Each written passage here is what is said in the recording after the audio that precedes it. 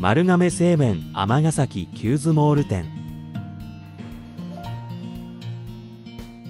俺は時々このメニューが無性に食べたくなる。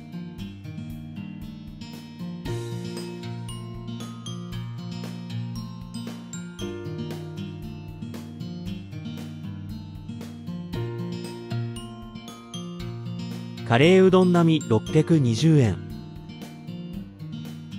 いただきます。このメニューは程よくスパイスが効いたカレーがとろみを抑えたサラサラタイプである。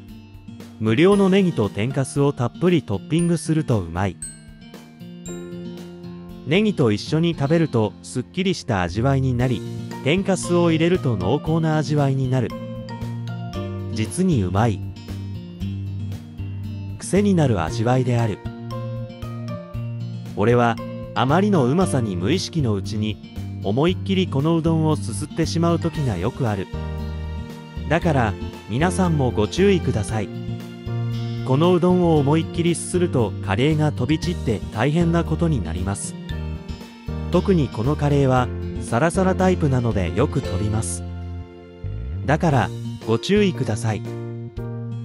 でもうまいのでおすすめです。ぜひ一度お試しください。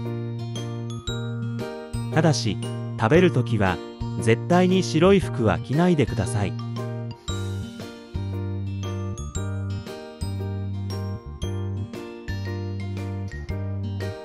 美味しかった。ごちそうさまでした。チャンネル登録お願いします。